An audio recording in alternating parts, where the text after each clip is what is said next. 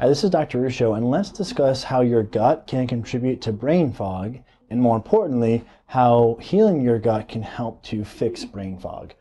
Brain fog can be a very unpleasant symptom. It's something that I suffered with myself. It, it's the feeling of uh, feeling like you have slurred speech, like you can't think, you can't remember, you can't speak clearly. Sometimes people can feel a little bit incoordinated.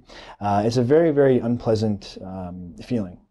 And the, um, the gut can contribute to brain fog, and improving the health of the gut can help with reversing that.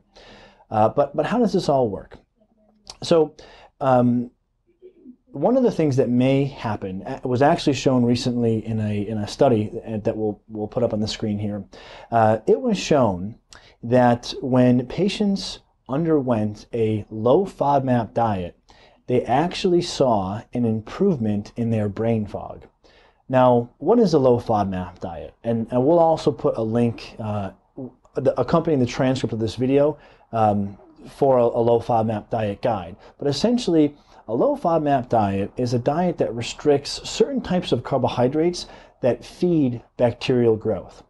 And why this can be relevant is regarding something that we've talked much about, which is small intestinal bacterial overgrowth. Uh, FODMAP foods, high FODMAP foods, can feed bacteria and worsen a condition known as SIBO or small intestinal bacterial overgrowth. So, um, a low FODMAP diet can help starve these bacteria and help with this SIBO. But how does this tie back into brain fog? Well, here is the interesting finding that brings us to this most recent study that showed that when putting a group of patients with IBS gas, bloating, constipation, diarrhea, abdominal pain on a low FODMAP diet, these patients actually saw an improvement in histamine or a, or a decrease in histamine.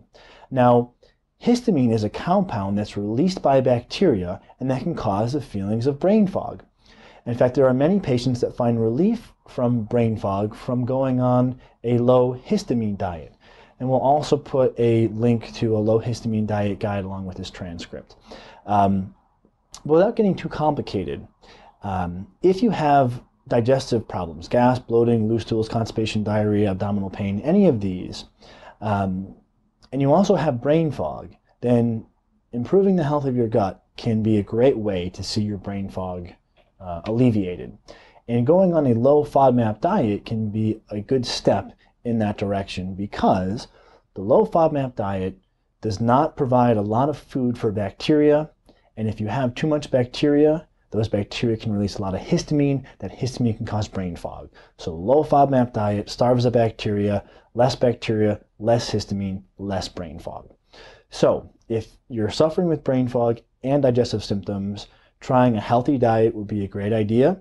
There are many different types of healthy diets a low FODMAP diet in this case, uh, and especially a low FODMAP diet that's of high quality non-processed foods as the food list we will uh, provide is, then this may be a really great step toward balancing your gut to help heal your brain fog.